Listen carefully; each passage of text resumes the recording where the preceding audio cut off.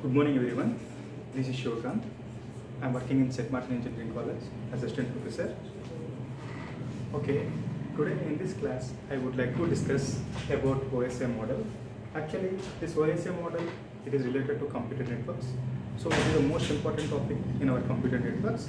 Okay, actually, what is computer networks? Computer network is a set of connected computers. Okay, computer network is a set of connected computers via Ethernet cable, via radio waves, can connect the computer networks.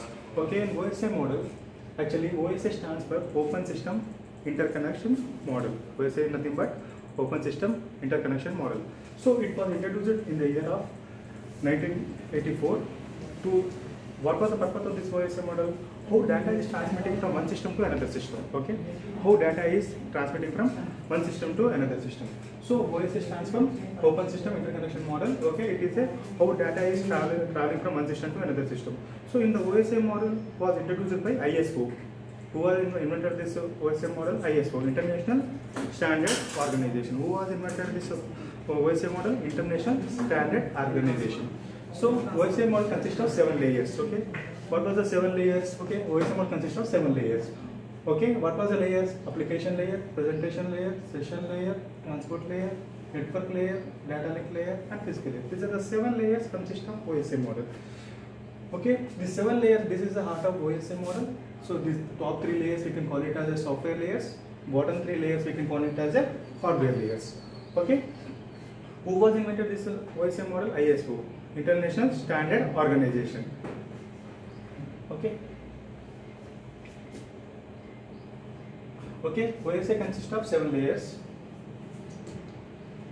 OSI model was developed by International Organization ISO in the year of 1984 and is now considered as an architectural model. What is architectural model? How data is transmitting from one system to another system. How suppose some example I am giving. Suppose suppose if you want to send transfer one mail to one system to another system. How data is moving? How data is moving from one system to another system. So it is a top. It is application layer. So application layer, so who are the user is working on the application layer, the particular person will be sending particular mail to application layer, okay.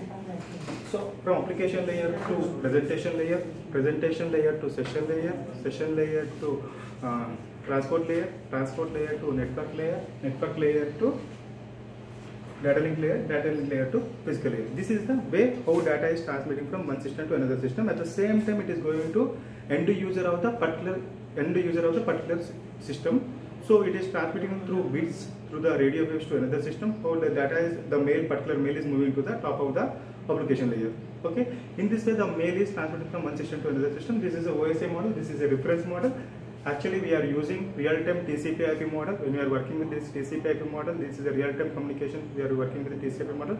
This OSI model is only for the reference model. Okay.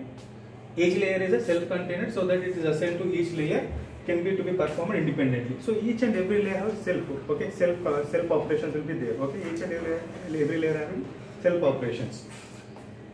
So so this upper upper three layers, what what I what I told you, upper three layers are the so uh, software layers, bottom three layers are the hardware layers. Middle layer it is the heart of the OSI model. Okay, here also they mentioned the physical layer is is the lowest layer of the OSI model is the closest to the physical medium. Okay, the physical mainly is responsible for the placing the information on the physical medium. Okay, what is physical medium? Physical medium is nothing but so whenever the application layer is transmitting data to from the presentation, presentation to session, like that it is coming coming from the bottom layer that is a physical layer. It is transmitting to the end user to the physical medium, physical layer. It is moving to end, end user to the physical medium. At the same way, top to actually we can say that this is a top to bottom approach. Okay, top is nothing but uh, application layer, bottom is nothing but physical layer. The data is tra traveling from top to bottom approach. Okay, so if you go to the next slide, in this next slide, so these are the seven layers. These are the functions of the OSI layer. Physical layer is the actually first we have to remember that in uh, everyone else what was layer one. We have to tell that uh, physical layer. Okay, what was the layer seven? Layer seven is nothing but uh, application layer okay these are the six layer 7 layer 6 layer 5 okay so these are all are the seven layers okay when we are asking about what was the layer 3 we have to tell that network network layer is a layer 3 what was the layer 5? Layer 5 is nothing but session layer. So in this way we are representing the layers. So don't confuse. So when your data is started, so what I told you, this is only for a particular purpose. What was the purpose? How data is transmitting from one system to another system. Okay, how data is transmitting? Application, presentation, session, transport, network and data link. In this way the data is transmitted to the end user to the another system. Okay, if we go to next slide. So th- these are the three layers. Okay, these are the th- top three layers are the software layers. This is the heart of OSA. So what was the main thing here? TCP UDP operation will perform in the transport layer itself. These are the three layers are the hardware layers. Okay, these are three are the hardware hardware layers. Okay, if we go to the next slide. So if you look at here, each and every layer having some definition and description about the particular layer. Okay, if you look at the application, this layer provides the services to the user. Already I mentioned, suppose if you want to transfer one mail to one system to another system, where you will do? From application. So we have so many applications like web browser, Google, Google Chrome or Mozilla Firefox. These are all the web browser. By using these web browsers, suppose if you want to try, if you want to send any services or if you want to send any mails, by using this application layer only it possible. Okay, so this is called as a application layer. What what we are performing? Applications is nothing but uh, Google Chrome, Google Chrome, Mozilla Firefox, um, uh, Google Chrome, Mozilla Firefox. These are all are the application layers. Okay, these are all are the Telnet and this all comes under the application layer itself. So after application layer, what was the next layer? It is responsible for so next layer is presentation layer. Presentation layer it is responsible for translation and compression and fusion. So this presentation layer performing three operations. What was operations? What is first one is translation and compression and also encryption. These are the three three responsible techniques are performing in the presentation layer. So com- coming to session layer. So what was the session layer? It is used to establish the manage and terminate the sessions. Okay. So what is session? Suppose we have to establish the session with one system to another system. Compulsory what you have to do? You have to perform authentication, authorization and session management. So these are the things are performing in the session itself. Okay, we'll see clearly. Okay, what was the transport layer? It pro- provides reliable message delivery from process to process. It provides reliable message to process to process. What was the transport layer? Here is a transport layer perform two important things. That is connectionless services, connection oriented services. That is TCP and also UDP. So coming to network layer, in the network layer itself, we mentioned there is the internet IP. Okay, network layer comes under the internet comes under the network layer. So it is responsible for moving the packet from source to destination. Okay, source to destination. So here data is in the form of here data is only normal data. So what is the normal data? Suppose user is there here. Suppose user want to send one mail. So how data is forming? Data is coming from application layer. Application layer to presentation layer. Presentation layer to session layer. So when data is coming here to the transport layer, here what was the data? It is converted into data is converted into segments. So what do you mean by segments? Segments is nothing but suppose the data is in the form of suppose there is a message called hello world. So this hello world is some data. Okay. When it is coming to transport layer, this data should be converted into segments. What do you mean segment? The, the example hello world. Hello world is a some texture. So that is a data. So when we are converting this segments is nothing but by adding the source number and destination number, all things should be added in the particular. Okay, each and every segment have mentioned in the transport layer. So segments, packets, frames, bits. In this way, data is converted from top to bottom. But data should be converted into segments, segments to packets, packets to data, uh, uh, uh, frames, and also bits. In this way, we are going to convert the particular things. Okay, coming to here, it is responsible for moving the packet from source to destination. Already mentioned. Suppose if you want, if you want to give the source address and destination, then only the packets will move from one system to another system. So it is used for error and transfer the data frames. But it is used for error free. Suppose come error control messages, error techniques will comes under the data link layer. Okay, what is physical layer? It provides a physical medium through which bits are transmitted. It provides a physical medium through which bits are transmitted. So these are the the several layers. So we'll see detailing in the coming slide. Okay, first uh, we are going with the application layer. So what is application layer? This is only layer that directly interacts with the data from the user. Already mentioned uh, directly. So application. So user want to interact with the application. What are the application we are interacting? Mails, Gmails, Chromes, Firefox. These are all are the application. By where user user is interacting with These are all the application. So software applications like web browsers and email clients rely on the applications, initiate the communication. So it all comes under the application layer. Oh, okay, application layer protocol includes HTTP as well as SMTP. What is, what is HTTP? Hypertext Transfer Protocol. So what is hypertext transfer? Suppose if you want to transfer data from one system to another system, so but with the help of HTTP, we can it is possible to send the data from one system to another system. What do you mean by HTTPS? S is indicating the secure transmission. So HTTPS is used for the secure transmission. So what is another protocol here? SMTP. What is SMTP? Simple mail transfer protocol. This is also used for the transmission of data from one system to another system. So is one of the protocol that enables the email communication. So this is the application layer. So if you go to next slide. So actual data, okay, suppose user is there, okay, the data flow is moving in this direction, okay, suppose your user sent one mail.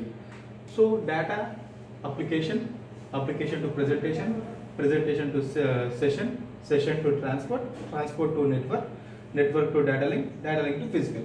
In this way, the data is moving. Okay, suppose user is sending one mail, mail is coming to the application layer. Application is a layer. Uh, it is uh, in the form of Gmail or whatever the applications. Presentation layer is nothing but suppose which format. Suppose it is image format, uh, HCD code, or ASCII. So in which which the message want to which format we have to reflect to the user. So the presentation layer will decide in which format we have to give the data to the user. So that will comes under the particular presentation layer. Okay, session layer is nothing but already we said session should be established with the user. So in this way, the applications is moving from this path through physical medium of physical connection to the end user. So the, here there is a end user is there. Here we are sending the mail.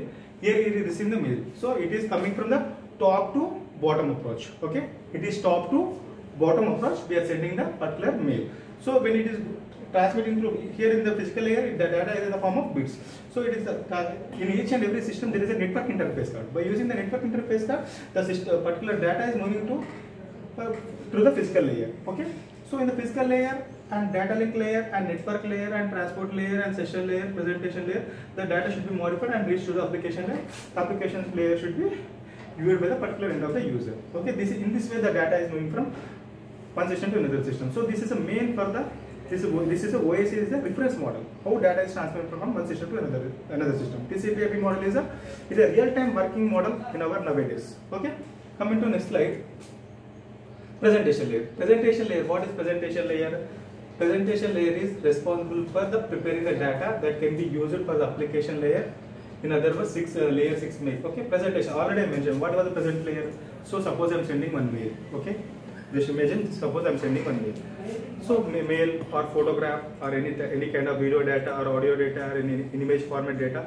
So whatever the data, it should be recognized in the presentation layer. So whatever the data is coming from the user to present uh, application layer, application to presentation layer. This everything should be converted in the in the presentation layer. So the two communication devices communicating may be using different encoding methods. So layer 6 is the responsible for translating the incoming data into the application layer of the receiving device to understand.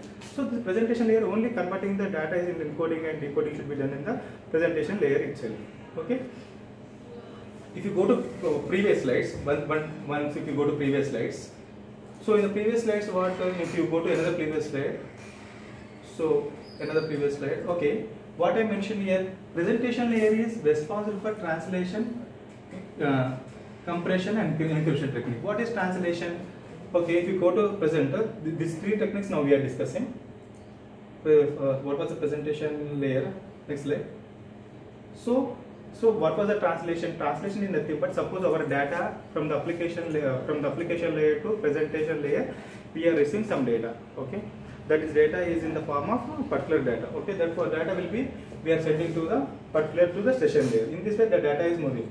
So what was what is mean by translation? Translation is nothing but the data is in the form. So presentation layer, application layer sends the data to the presentation layer. Okay, we can say presentation layer take the data from the application layer. This data is in the form of this data is in the form of mm, uh, numbers. So this uh, numbers will be converted into this number will be converted to particular order. What was the order? Okay, the device is communicating over the encrypted uh, connection. So 6 is responsible for adding the encryption to the sender and as well as the decoding the encryption. So these all comes under the presenta presentation layer. So the translation. So coming class will uh, discuss about translation, encryption, and compression techniques. We'll discuss in the coming class. Okay, these three techniques are very important. Coming class, the next session, I will explain you about clearly about this translation, encryption, and compression. Okay,